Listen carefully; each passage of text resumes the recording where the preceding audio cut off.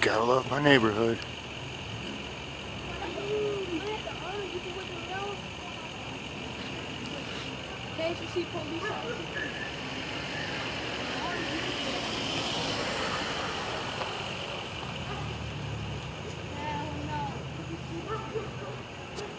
She was running.